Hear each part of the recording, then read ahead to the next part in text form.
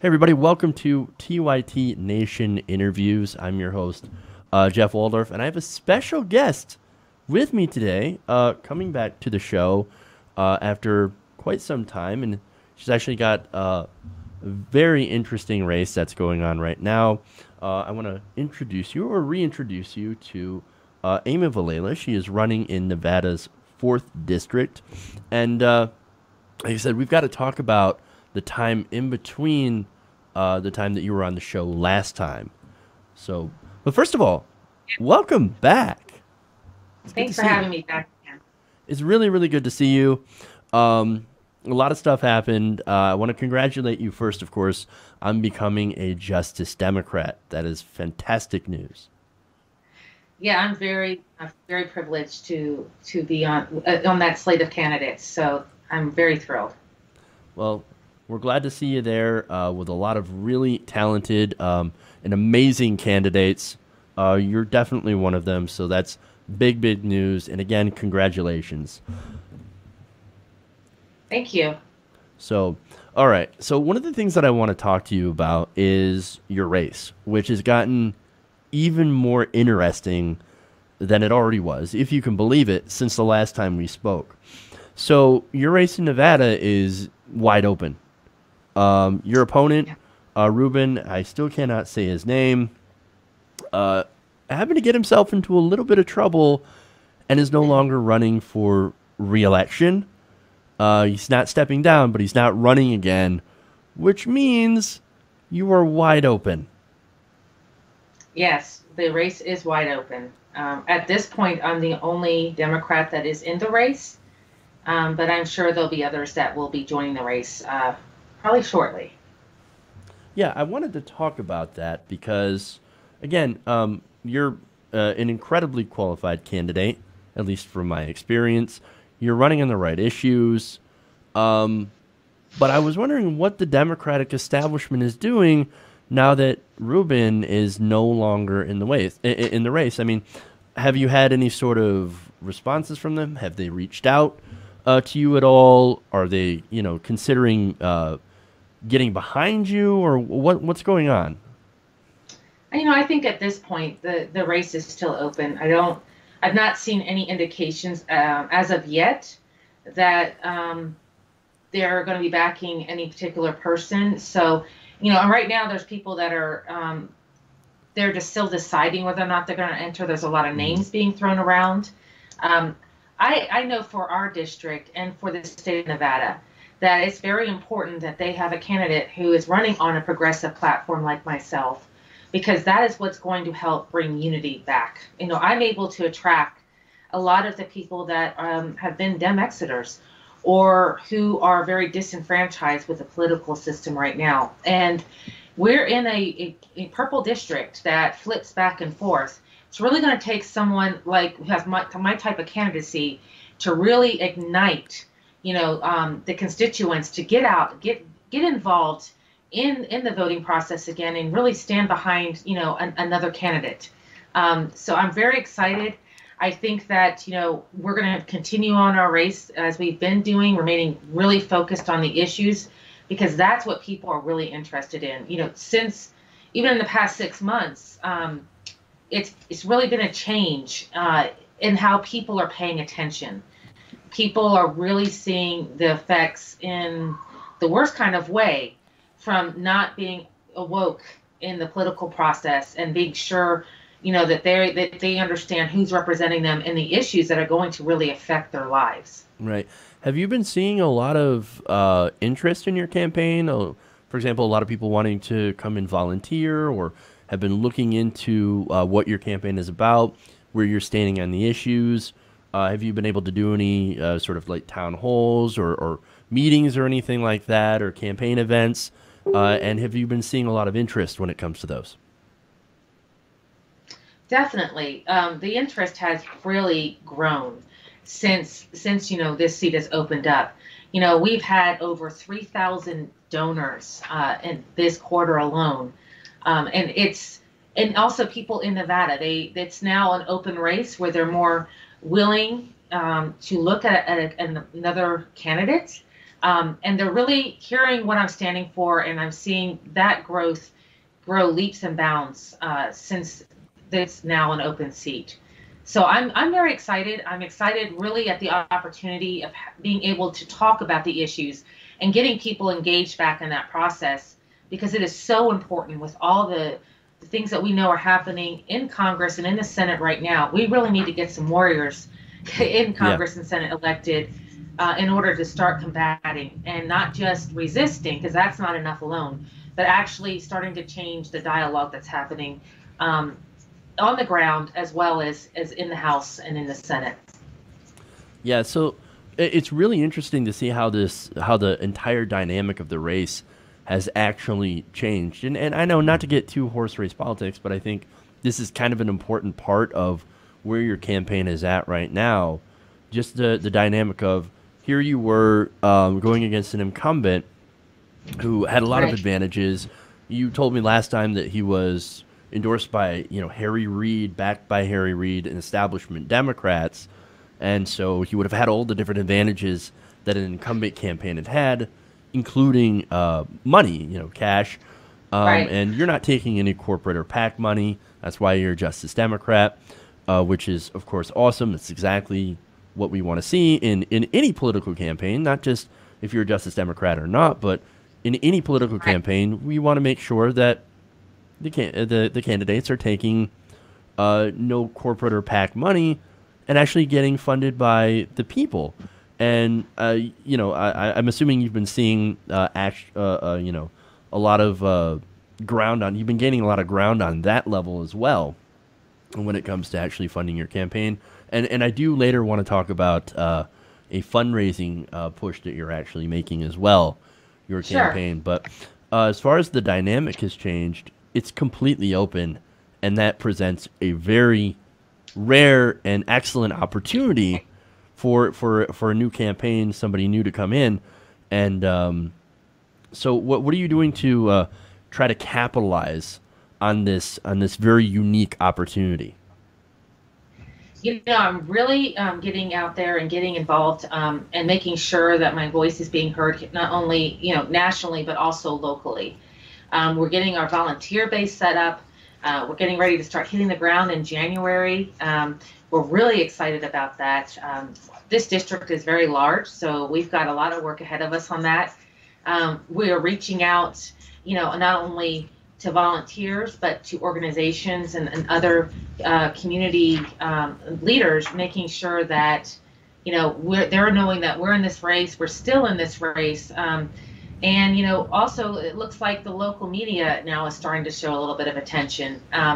It, it, was very amazing to see all the outpouring when they were ignoring my race 100% completely. Yeah. Um, where I was like, wait a minute, there is somebody running in the district already since uh, July. So, you know, uh, it, it, it's really it's really been amazing how it's turning around.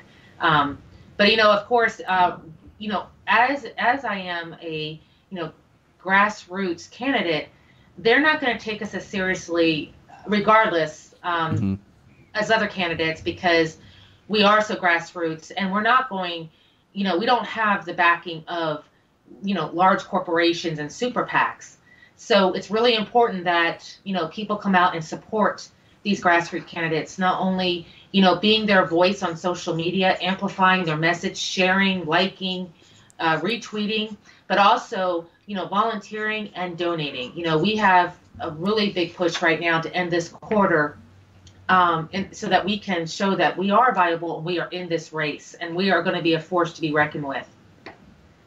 So, uh, what something that's interesting uh, too uh, that happened uh, in between since we last talked um, is the Me Too movement, and that's actually what knocked uh, yes. Reuben out of the race. I, I, I want to give your thoughts on that and how that's actually changing the discourse of of America and actually, right. um, like because I see it as as it's it's a big culture change. It's a culture shift that's been uh, ending a lot of politicians' careers, a lot of media personalities' careers, um, movie stuff, you know, movie directors, Harvey Weinstein, etc. And so, it, you know, let, us talk about the the impact that's having on you know culture and, and, and politics in general. Right. So, you know, there is definitely um, accountability now for actions. You know, we're seeing that finally women feel safe to talk about uh, their happens that we're in that in that era right now. You know, women for a very long time, and I know throughout my my career, are often put in very toxic situations, and and and sometimes they're having to choose between what they feel safe for them or healthy and providing for their their families, and and many times these are single mothers who really don't have any other alternative. So you know, I'm very disheartened that we have someone representing Nevada um, that is displaying this kind of behavior. Um, we have a lot of issues to be working on um, that a lot of Nevadans are hurting and really needed to have, uh, you know, attention put to those issues in Congress. And it's very unfortunate that that's what the focus has been in this point. And, and you know, to be quite honest, I think it's about time that we have more women in office.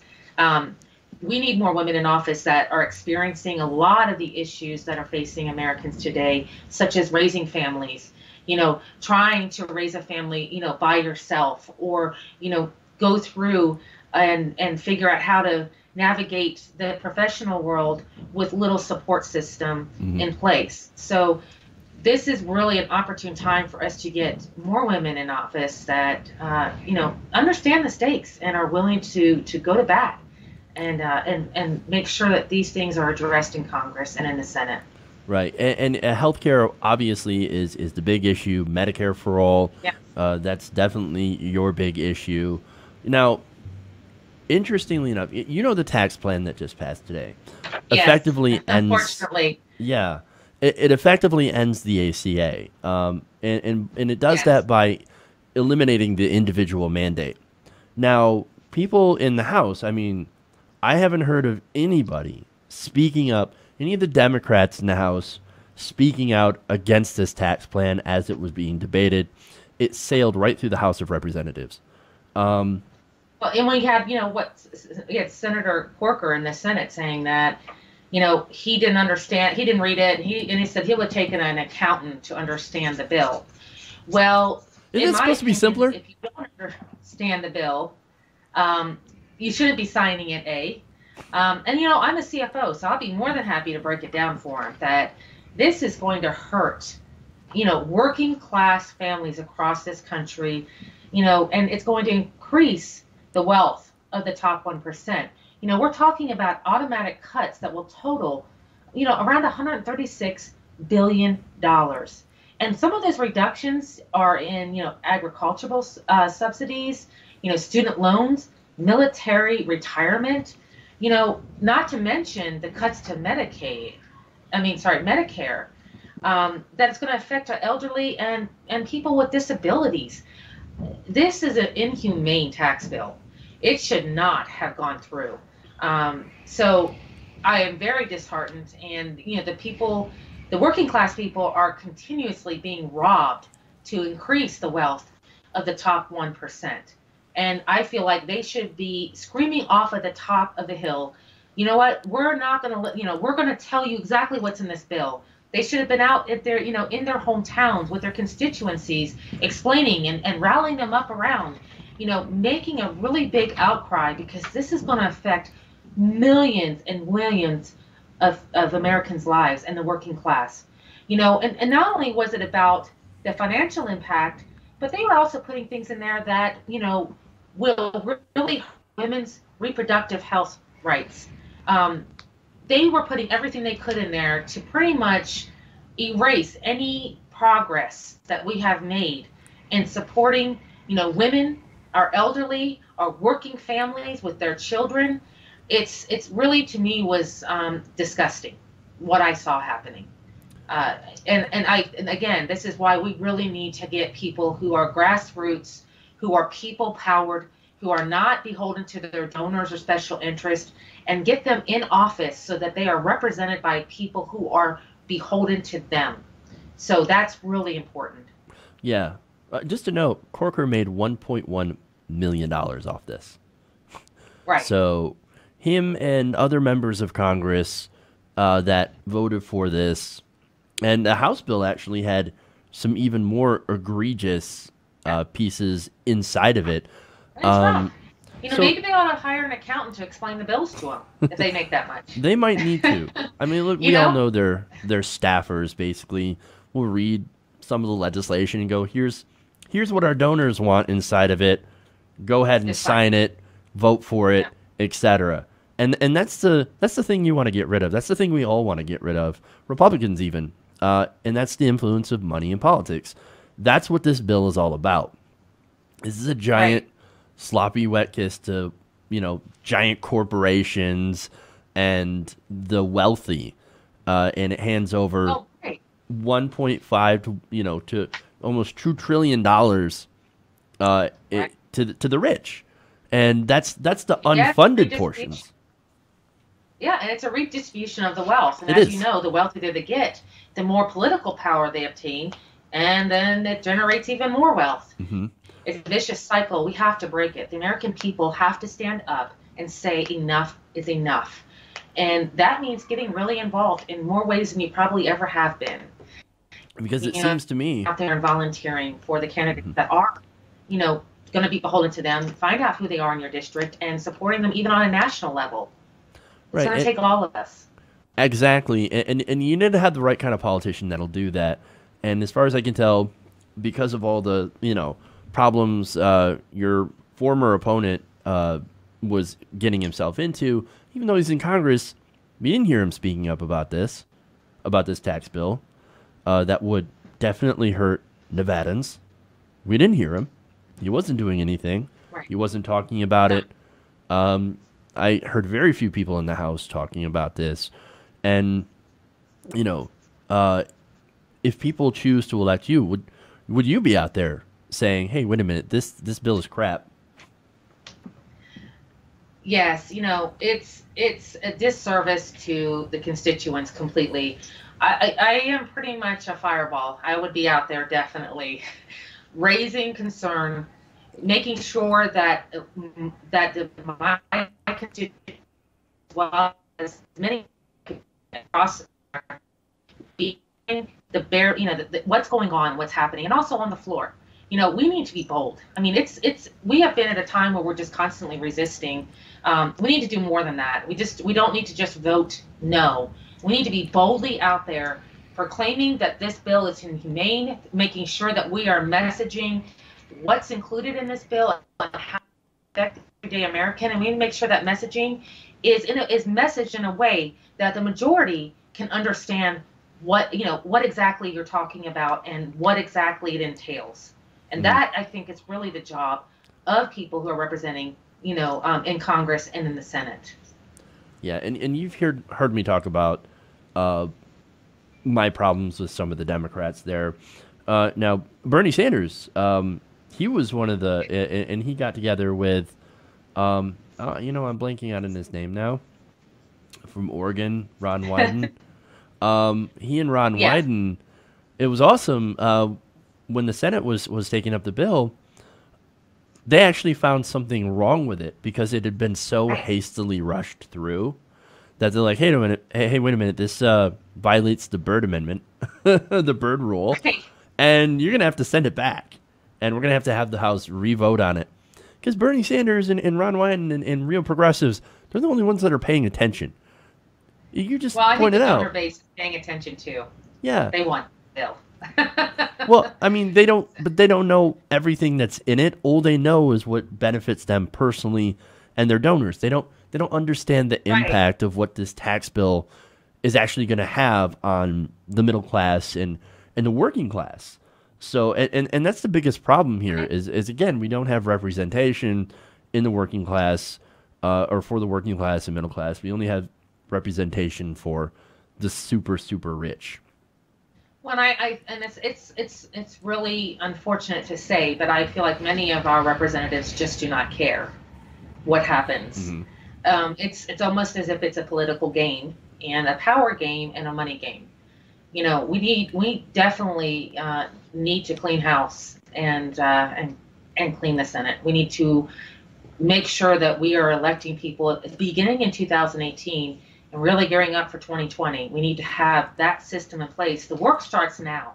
It doesn't start, you know, at the end of this year or in 2020. It starts now. We have to be on the ground, you know, really working in communities to make sure that we have a blue wave, but not only a blue wave, but a blue wave of progressives across this country, true progressives that are going to fight, you know, for the working class, for our, our el- the elderly, for people with disabilities, for LGBTQ communities, for people who are in people of color, women. There are so many issues right now that are adversely affecting these communities, and not enough is being done to protect them. And we need to make start making changes now so that hopefully once we do get to 2020 and we can um, replace uh, number 45 uh, you know we'll have that structure in place to start getting some real work done. And so this it's it's actually it can it's an exciting time that we have we actually do have a chance. We have a lot of great groups out there really backing all of the progressive candidates such as you were mentioning justice democrats brand new congress our revolution, progressive Democrats of America, you know, they're out there getting ready to help support and um, and help mobilize, you know, uh, the, the communities to back all of these candidates that are willing to come out and speak boldly and and, and run for office. So, uh, aside from uh, one more question here, aside from Justice Democrats, are there any local Nevada groups uh, that are are coming around to you and, and, and are trying to help you out as well? Uh, yeah, you know we've got we've got the local our uh, our revolution chapter has endorsed me. Um, the national's not doing endorsements until January, so um, we're looking forward to hopefully um, gaining that endorsement. There are a lot of local um, groups that are also you know I'm meeting with and and talking about how we can work together on these goals. You know I I think a lot of people don't realize how close we are on the issues um, because you know they only they want to they want to argue about um, politics and all of the the talk that goes back and forth about you know whether it's Hillary or Bernie or but when we start talking about the issues, I really I really find very little difference as far as if I ask somebody for for instance, do you feel that my daughter should have died from a lack of insurance? I have rarely found someone there are some actually, unfortunately, but unfortunately, um, yeah, 99% of people I've spoken to, um, even people who supported Trump, will say no. What I think as progressives, our challenge is to to not get so wrapped up into you know all of the the talk surrounding politics, but really push hard on the issues and have the American people understand that the progressive platform is the platform of the people. And so that's what I've been really working on with community groups here in Nevada.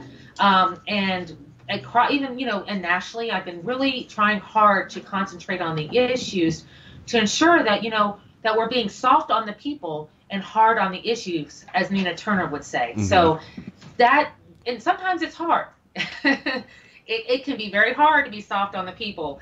But, you know, we have to keep that in mind that it's really just about showing the you know the constituents and, and, and just the everyday working class American that you know we you, we might differ a little bit on how to get there, but when we really start talking about the issues, the people's platform, you know, in the platform of the Justice Democrats and in the brand new Congress and our revolution, all of these platforms really speak to what's needed in our society today in America. So so so you're saying that you want to run on policy over politics? what kind of politician does that? Are you sure you're a real politician? no, you're you're a real really person. Hard to stick to the issues. I, I am really just constantly talking about it, you know, and uh, sometimes it can be challenging, but I just you really have to just keep all the noise out and really just concentrate on what matters is that I always tell people as people are arguing about you know, a lot of things are really inconsequential to our everyday lives. What is really hits home with me and is true for me and, and in my soul is that I know every day that goes by, there are people that are losing their life, that are becoming homeless, that are, you know, suffering from discrimination, whether it's from racial or because you're in the, part of the LGBTQA society. You know, they are feeling the effects every day of our government and our leaders putting profit over people. That's the reality. And it breaks my heart. You know, I, I almost wish that we'd have election day tomorrow and I could get started the day after. I'm ready to get in there and really try to, to make as much change as I possibly can and give my contribution back um, for all the people that have been fighting before us to get us to the point where we are now. I mean, even when you talk about something as healthcare, you know, it took years they've been re, re, representing this bill to Congress for years. Mm-hmm. And that's what we need. We need people that, even if it doesn't look like it's going to pass right now, we need to be introducing bills now. We need to be doing it left and right and entering them and talking on them and messaging and putting it out before the people and, and creating that movement. That's what's going to create the change long term. And so, you know, I know a lot of people say, well, wow, your your platform, I don't think that's going to be possible in the next two years. Probably not. But if we aren't fighting for it now, it never will become reality. If we're not talking about it now, it never gets into people's psyche that this is even possible. It's only by us talking about it and, and working to enter those bills into to Congress or into the Senate, that's where the real change begins. And it's a movement. So we have a lot of work, and uh, it, it, it's exciting, but it's also there's a real cost to every day that goes by that we're not doing the work. Yeah, it, it, you know, it's about laying that foundation. Now you talk about cost, right? Um, there's a personal cost to running for office, and uh, and and you know, you're obviously you're definitely aware of that personal cost. You can't exactly work when you're campaigning all the time. No. So no. I mean, uh, just just tell anybody, t- tell everybody about like the personal cost, what it's like to to actually run for office as a as a real human being that's not backed by right. these gigantic super PACs where they pay for everything and you can just sit back and you know do your campaigning right. because again you're a real person you you have you have bills and you have things that you have to do tell us about that well, I can tell you that um, a lot of the Justice Democrats and brand new Congress members, where the first thing is they were primarying a, a sitting congressman or senator. Um, that in itself brings a whole another wave of ridicule and animosity, you know, that you have to take on immediately. And it takes a lot of courage and boldness to say, you know, I am going to hold my representative accountable for the campaign that they run on, the issues that they ran on in their campaign. And I'm going to call them into account and make sure that they know that they owe the people that they are serving what they promised them when they ran. You know, that was the first piece, and that was really hard. Um, but, you know, there's also the piece where, yeah, I quit my job. You know, you don't spend a lot of time with your family. It's a huge um, personal sacrifice. But you know, I knew when I was out in the community that it was not just about me, wasn't just about healthcare. There was a much bigger issue and a much bigger purpose. And, it, you know, I had to, to take that experience and I knew that, you know, to close my eyes and not do anything about it would be would make me an accomplice to what I was doing. And I was not going to allow Shalynne's legacy to be me, you know, taking the easy route out.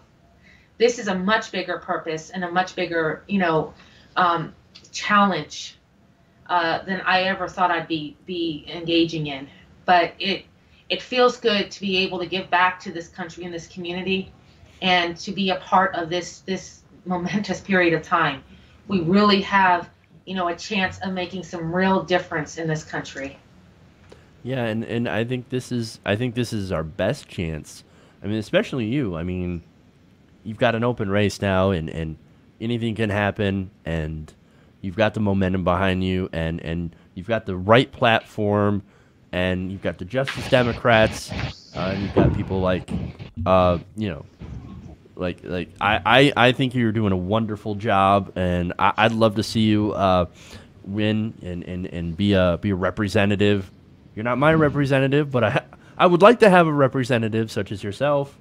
Um, well, it would be in a way. Everything I do that is true affects everybody in America. you know, um, it's uh. Yeah. Uh, I, again, I, I, love the work that you're doing, and, and, and I love the fact that you've again you're a regular person and you saw something, you saw a problem that wanted to get fixed, and you're like, okay, uh, let's fix it. Let's let's do the work. Let's get it done, uh, and let's start helping people. Now, speaking of helping people, how can people help you? You know, we could use all the help we can get. We're at the end of the quarter right now, um, and we're getting ready to file our next set of FEC filings. And the you know everyone is looking to see how viable I am. They're looking to see how much support I actually have. And we need to show them that, you know, progressives can raise money without, you know, being sold out and without going to large corporations or super PACs. So we need all the help we can. If you whatever do whatever you can donate would be great. Um, if you go to justicedemocrats.com forward slash help Amy win, uh, we greatly appreciate it. You know, in addition, you know, that money not only shows that we're viable, but right now we're trying to secure, uh, you know, a field organizer. Um, we have a huge district that we have to cover here in Nevada and CD4. So, um, and I definitely want to be able to pay a livable wage to the staff that are working on this campaign tirelessly. So um, we could use any support you can give, and and not only financially, but you know, because the media will not cover progressives as much as they do, um, you know, other candidates, we need we need everyone to be our voice and, and to amplify our voice, and by sharing, liking, following, tagging, you know, really helping us get the word out to the communities that we're in. There are a lot of Justice Democrats, you know, out there right now running, as well as brand new Congress, and pretty soon there'll be our revolution candidates and PDA candidates make sure that you know not only you doing it on a national level, but also for, you supporting your local candidates as well. That's so important. Um, so again, you can visit us. You know, you can go and visit uh, justicedemocrats.com forward slash help Amy win, um, and be sure to check me out on my own personal website, which is um, you know Amy the number four the people.com, and also on Twitter. You know Amy again the number four the people so feel free to uh, follow and like, share, donate, and volunteer. All right, and, and we will have all of those links at the bottom uh, in the description of this video. So everybody help out. Uh, check out Amy, help her out. Uh, she's just, Justice Democrat, Nevada's 4th District. Um, thank you, Amy. It was always a pleasure talking to you. And uh, I appreciate you coming on the show. And again, I love the work that you're doing, and uh, you're you're you're doing the work of the people, man.